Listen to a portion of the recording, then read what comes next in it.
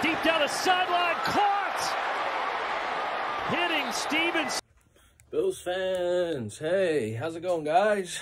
Um, haven't had a lot of content this week. Uh, you know, tough loss and everything, busy with the holidays, but, you know, hey, if you don't see videos and stuff from me, that doesn't mean that, you know, we've given up or we've given in or anything. We fight until the end, and we're still in this thing, guys, so... um, start with maybe some bad news first. Oh, oh, remember the chair, XB? You like that, huh?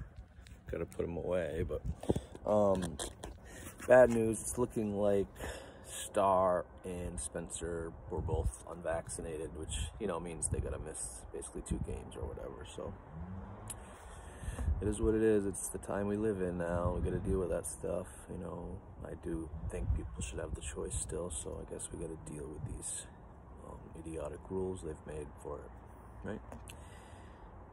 Um, get off that. Do have some good news. I think personally, I'm very happy about the uh, Marquez Stevenson. I've loved this kid ever since we got him. If you haven't watched any of his college tape, uh, go do it because the speed jumps off the screen. Um, amazing athlete. I have a couple uh, preseason highlights on the channel. Also, if you haven't seen them, the punt return and the and the um, catch from from. So uh, you know they they started the clock where they needed to either bring him up or they had 21 days to shut him down, and he's practicing. So it's looking positive. We might have a new kick returner. And honestly, I wouldn't mind seeing him getting some snaps on offense because it looks to me like maybe Emmanuel Sanders has lost a little bit of a step. He's definitely not 4-4 anymore.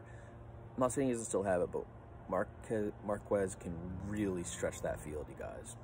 And he's just, he's just an athlete. Just get the ball in his hands. Not giving up on Isaiah McKenzie. Isn't a shot at him, but I never thought he should be our returner. You know, when it's when you're down by four and, and you stop them and, and, they have to punt with two minutes left and you just need a guy to catch the punt.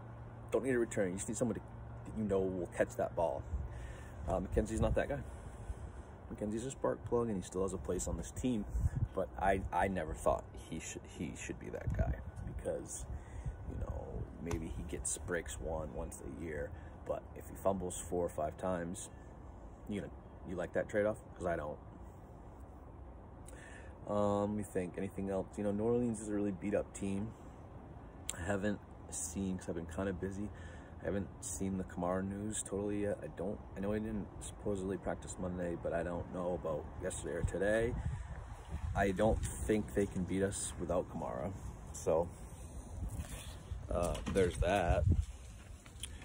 Um, they also have a game the following Thursday, so they don't get extra time coming off this Thursday game like we do. So and it's I think they play the Cowboys, so maybe they're trying to get him 100% for that game. I don't know. I don't quite know, but um, they have good defense. You know, they've been up and down this year, but they get some people on defense, and um, you know, no Spencer Brown. So if anyone doesn't think that Cameron Jordan isn't going to wreak havoc, you know, be very surprised if he doesn't. You guys, um, must win. It's a must win. I'm not even going to talk about the huge games we got coming up because uh, one game at a time, you know, that's maybe what happened with Jacksonville. And that's why we're in the position we're in. Not losing to the Colts. The Jacksonville loss, if we end up, you know, this season ends up really going bad, it's that Jacksonville loss. Can't do that. But anyways, guys, um, hope everyone has a, you know, good holiday and, uh, we'll have more contact coming and um, don't lose faith, you guys. We got this. We're, we're fighting.